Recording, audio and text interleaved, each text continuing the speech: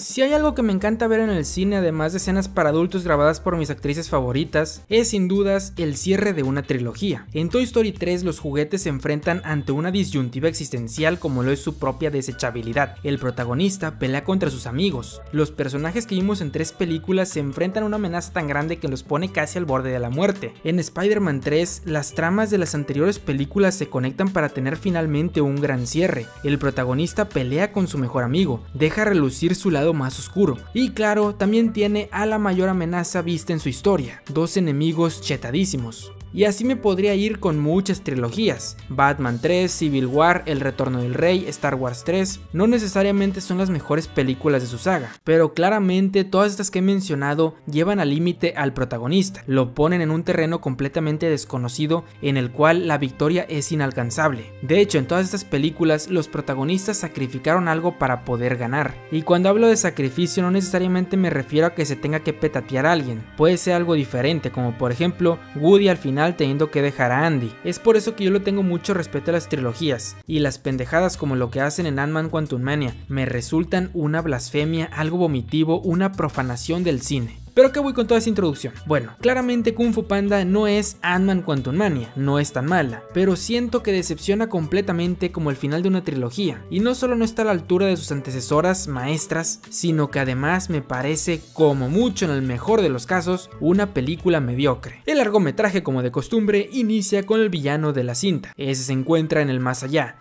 y ha absorbido a todos los grandes maestros. Básicamente los volvió a matar. Tiene un enfrentamiento con Uwei y este cae derrotado sin muchas complicaciones. Y ya desde aquí yo me siento estafado. Como chuchas Uwei, quien derrotó a Tai Long con una sola mano mientras se machucaba la riata con la otra, aquí nada más lanzó una especie de ataque espiritual que no le hizo nada y después cayó derrotado. Que sí, que Uwei ya sabía el futuro y que vio todo y que la profecía y no sé qué, pero díganme si no es decepcionante que la única vez que Uwei tuvo un rival a la altura, pues básicamente no le peleó. Es como si nunca hubieras visto a Dumbledore sacándole la cagada a Voldemort o a Yoda chingándose al Palpatine. O sea, es de ley. Total, yendo con los protagonistas, Chifu ha cedido su puesto de maestro a Po. En su primer día casi ocasiona 5 homicidios involuntarios por negligencia crónica y cuando está lloriqueando y rindiéndose, Chifu le dice que se aliviane, porque si solo haces lo que sabes hacer, jamás serás más de lo que eres hoy. Kung Fu Panda deidad en cada película dejando frases excelentes. Lo que no me gusta es lo que prosigue. Chifu le dice a Po que no sabe quién es y hablan acerca del significado de ser el guerrero dragón. Cuando Chifu le pregunta acerca de esto, Po responde que ser el guerrero dragón significa golpear y patear. O sea, en la primera película Po aprendió de Tai Long que ser el guerrero dragón no significa ser el más fuerte, que hay valores detrás de eso que te hacen ser acreedor de ese título. Aprendió de humildad, de confianza, de bondad. En la segunda entrega, Po al saber su origen tiene dudas con su identidad pero al final de la cinta cerramos con el protagonista diciéndole a su papá, soy tu hijo, obviamente haciendo alusión a que por fin recuperó esa identidad que sentía perdida. Por más que pose un personaje un poco idiota, jamás diría una tontería como esa. Jamás pensaría que ser el guerrero dragón significa golpear y patear después de tres películas, cuando precisamente él fue quien les dio las lecciones de vida a sus enemigos, demostrando que ante todo lleva sabiduría consigo. En esta película lamentablemente el personaje retrocede y vuelve a ser el tonto de la primera película. Después pose tranquila hablando con su papá, cuando de repente su otro papá aparece en el restaurante comiendo unos dumplings recién pedidos del Costco a tan solo 400 pesos en todas nuestras sucursales de reventa. Entonces le dice, oye estoy buscando a mi hijo. Paul le dice, qué curioso, justamente yo perdí a mi padre y los dos somos pandas, pero como que ambos padecen un retraso cognitivo, así que no se dan cuenta de nada y se despiden. Bueno, te deseo suerte. Y yo a ti.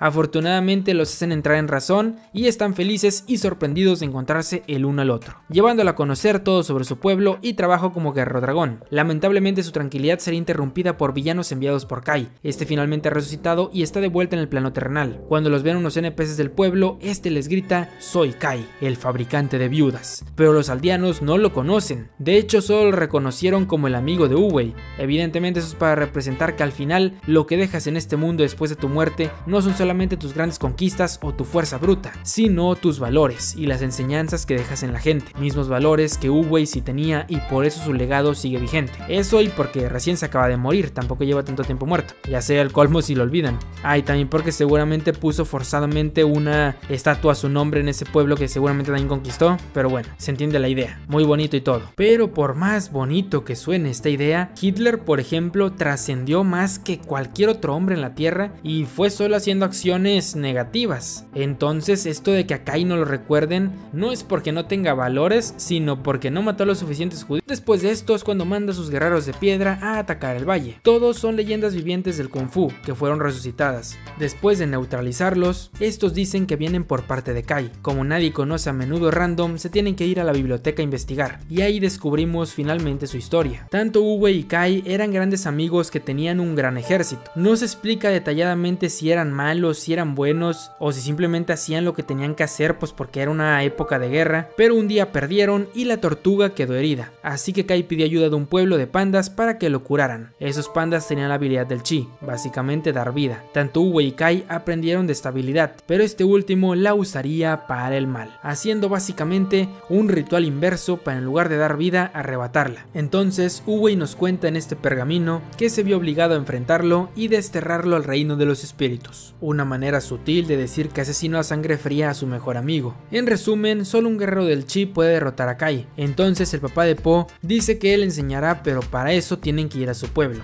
Le dice que tiene que vivir como panda y conectar con su naturaleza para descubrir esta habilidad. El papá está muy celoso de toda situación, así que se cuela para ir con ellos. Po aprendería muchas cosas de su pueblo y de su especie, y se daría cuenta de que básicamente toda su vida estuvo fuera de su hábitat, y es por eso que la comida que le daban no era suficiente, y por eso siempre estaba hambriento, por lo mismo le daba hueva subir las escaleras, entre otras cosas más. Mientras Po se hace pendejo con los pandas, Kai ya absorbió a todos los maestros de China, a Grulla, a Mantis y finalmente viene a por Chifu y el resto de furiosos, teniendo una entrada que se volvió icónica en la saga.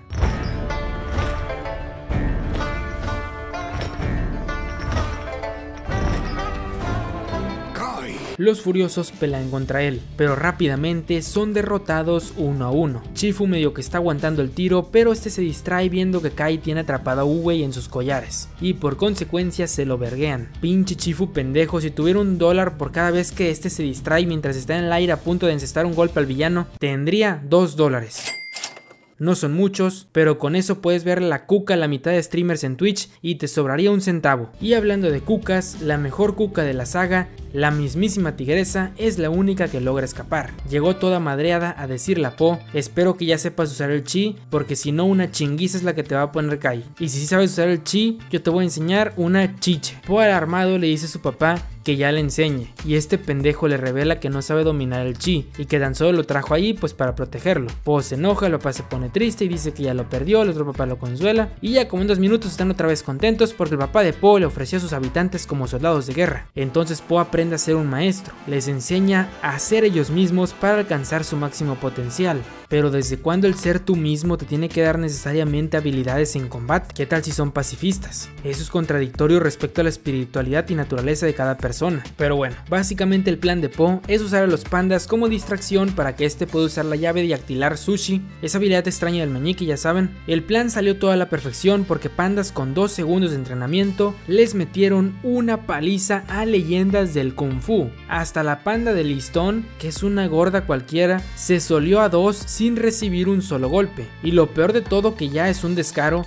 un panda con obesidad mórbida junto a un ganso escuálido lograron enfrentar al maestro Chifu sin recibir un solo daño. Gracias a esta distracción, Po logra hacer el Skidush, pero no le afecta a Kai porque él es técnicamente un espíritu. Como dirían los Greyjoy, no se puede matar a lo que ya está muerto. Entonces le pone una golpiza a Po, sin que ese se defienda ninguna sola vez, y cuando todo parece estar perdido, Po cual persona transgénero llegando a los 30 años de edad decide hacerse un autoskidush y desterrándose al mundo espiritual junto a Kai. La pelea final es decepcionante, no solamente no los vimos intercambiar golpes en sus formas normales, sino que además, al llegar al mundo espiritual, tan solo bastó con que los pandas le manden su energía para tener un power up el cual lo vuelve chetadísimo y humilla a Kai una y otra vez. Y el conflicto se resuelve de la manera genérica más posible, el villano pide poder, el héroe se lo da y el villano no no soporta, no soportó el Kai, entonces falleció por segunda vez. Po se encuentra con Uwei y este le dice que desde el día que lo vio, sabría que él uniría el pasado y el futuro del Kung Fu,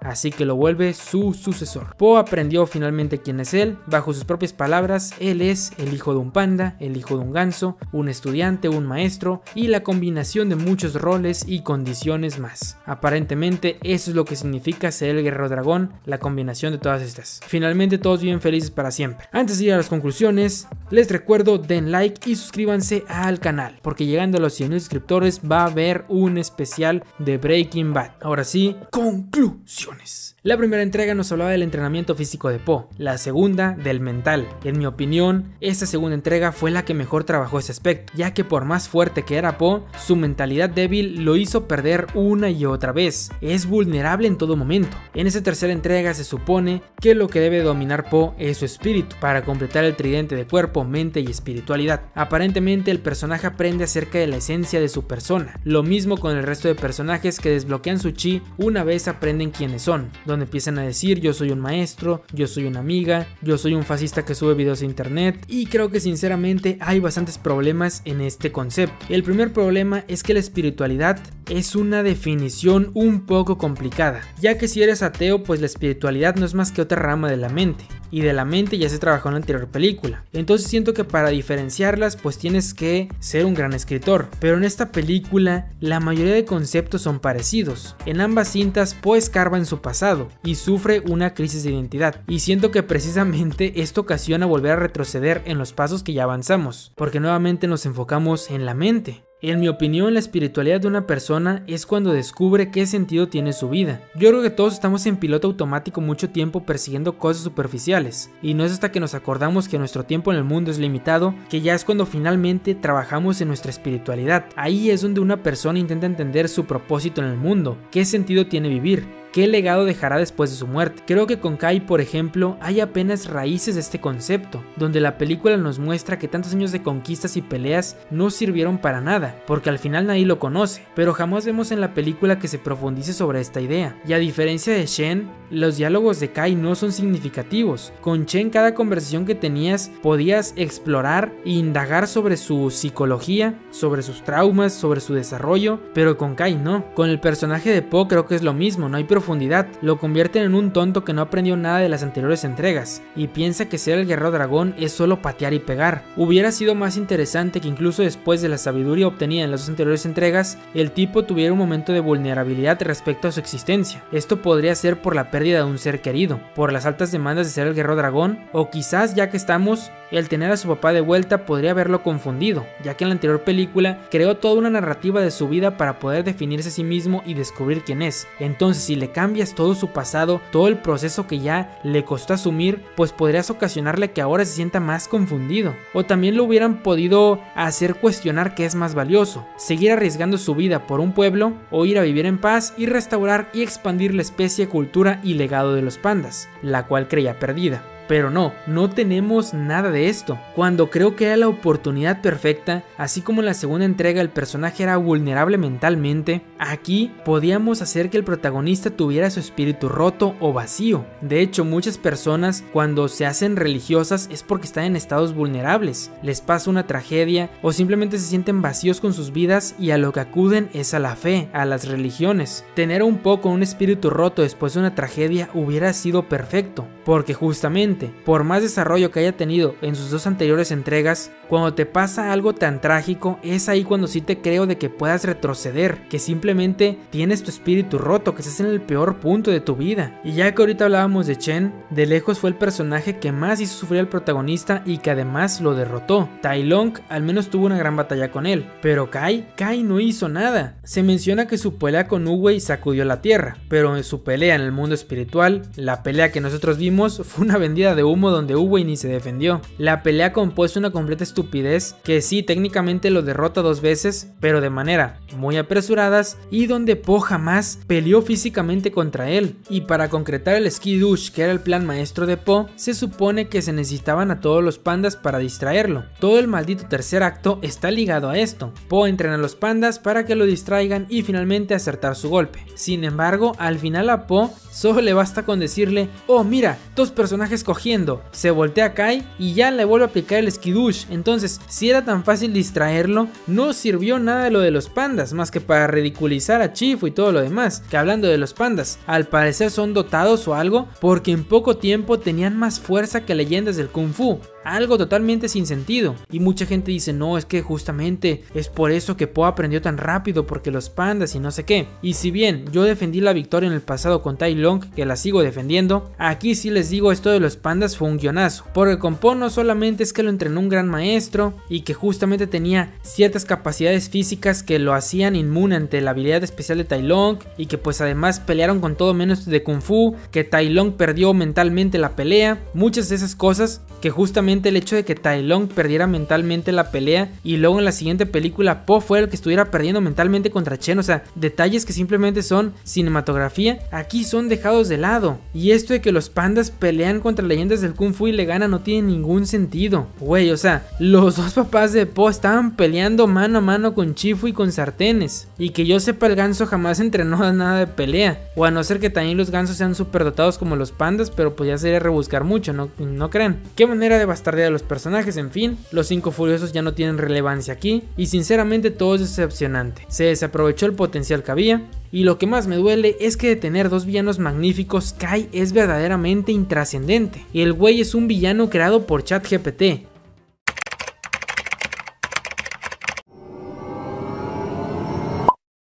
Motivaciones, psicología, desarrollo, presencia, no tiene nada. Una buena rolita, eso se lo concedo, pero fuera de ahí nada. El güey simplemente se obsesionó con poder y listo, se volvió malo porque sí. Y dice que Uwe lo traicionó. A ver, cabrón, esos güeyes salvaron a tu amigo, por el cual supuestamente dice tu vida cargándolo durante días y llevándolo con los pandas. ¿Cómo se te ocurre querer matarlos y arrebatarles el poder? Es que no, no le puedo conceder nada, no tiene ningún punto que me haga decir, bueno, esa se la concedo, no sé, nada. He visto comentarios y videos también que dicen como que Uwe era un conquistador al igual que Kai, entonces pues Kai solamente estaba haciendo su trabajo, por así decirlo, o sea, ya eran malos los dos desde antes, pero Uwe se redimió y él no. Pero pues es que esto no se nos dice en la película, o sea, a mí me encanta hacer fanfics y todo y notar detalles y demás, pero esto no lo puedo dar como un acierto de guion porque realmente no se explora en la cinta, no se habla jamás del contexto cultural, no se da una perspectiva de Uwe como el villano o como alguien alguien gris. Incluso hasta el capítulo de Hela, por ejemplo, o sea, una serie de Marvel ahí te da un, ejemplo de cómo hacer villanos así. De que pues básicamente ella fue creada por la guerra y así era lo normal para ella y pues por eso se volvió mala. Aquí pues no, no tenemos nada de eso. Pero bueno, si no te puedes identificar con él, al menos estaría bueno